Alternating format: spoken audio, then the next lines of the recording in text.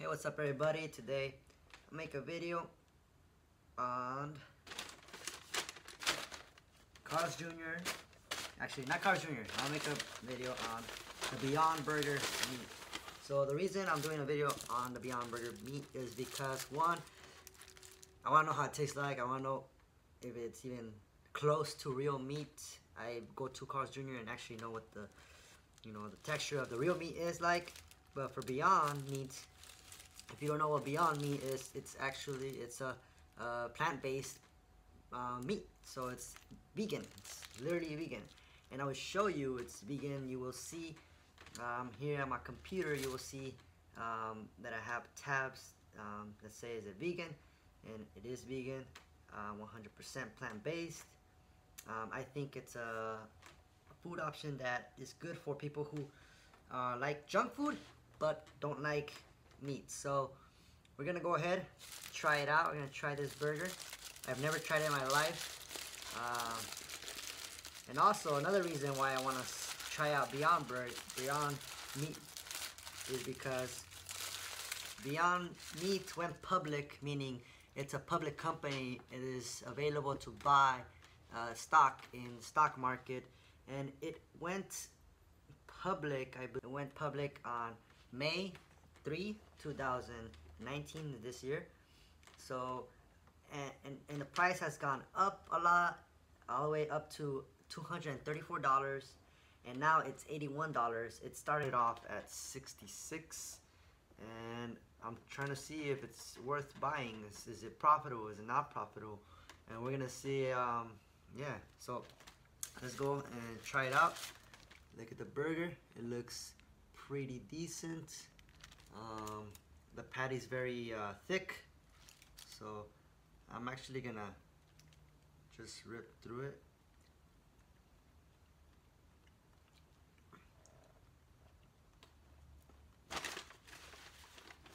Tastes like meat. No, it's okay. good. It's alright. It tastes like meat. So, let's bite into it.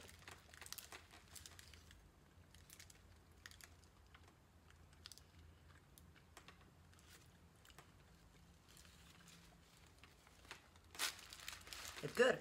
It's alright. Passes the test. I would definitely buy it.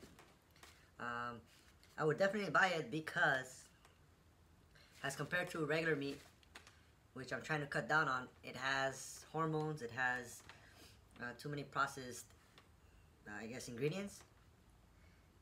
Actually, this one has processed ingredients as well. As you can see, it's made up of a, a lot of different things. Um, main ingredients are pea protein, uh, canola oil, refined coconut oil, rice protein, natural flavors, bean protein, and it's processed, but it's plant-based. So the only thing I was worried about is if it, it was gonna have like some kind of hormones. It, it, doesn't have GMOs, so like genetically modified organisms. It doesn't have none of that. Um, and, and meat, regular meat, you buy any any store, most likely has some kind of hormones that were injected to to make the animal grow faster and therefore um, produce uh, unhealthy meat. So I'm pretty happy with this.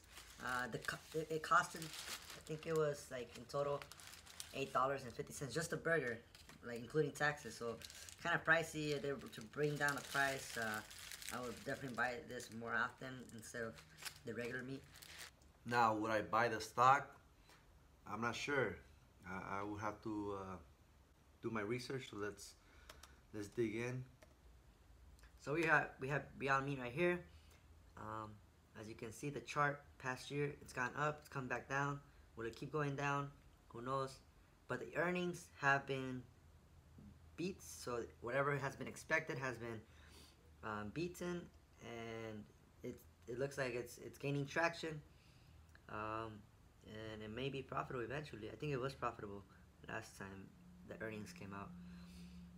Um, in terms of news, is a lot of people are wondering if you should buy if you should buy the stock now, or uh, wait wait for it to go down more. But my opinion is I'm probably gonna buy like very few shares, maybe like five shares to see what happens. Um, uh, what I have seen is that the revenue is not that high.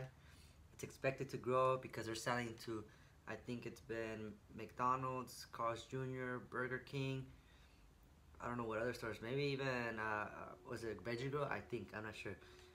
Um, so here I have a headline says um, Beyond Meat turns its first profit, which is awesome.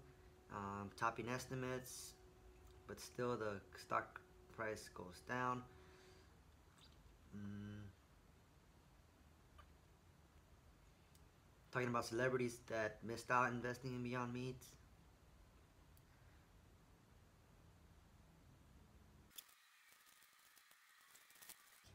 So in conclusion, I'm almost done with my burger. In conclusion, I think I'm gonna buy some shares of Beyond Meat, maybe just five, ten shares. And I'm just gonna hold them, see what happens. And I think that there will be demand for this burger because from personal experience, I see people who go out to eat and there's maybe somebody who doesn't eat meat and now you're left with, you know, having to decide whether you go to a meat-based restaurant or a plant-based restaurant. And this, with Beyond Meat, now you can have this type of meat available in any restaurant. Anybody could go there. And I think it's a good source of food, not healthy source, I'm just saying a good option for those people who are vegan and like junk food. You know, everybody loves junk food. It's great tasting. I know there's nothing about the health about it, but like people like to eat and this is a good substitute. There's not a lot of great vegetarian places or vegan places that taste great. And if they do taste great, it's usually a very expensive place that's privately owned by a mom and pop shop. And with this, you know, it's fast, easy, and pretty much is gonna meet your, your standards uh, in terms of like taste.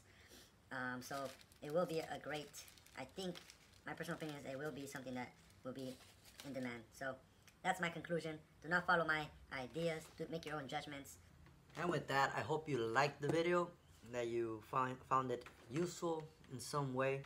Um, subscribe, stay tuned. There's a lot of material I'll be putting up.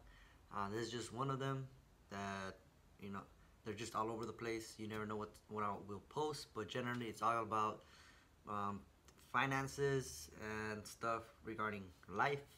Um, and that's it. So see you on the next video. Bye bye.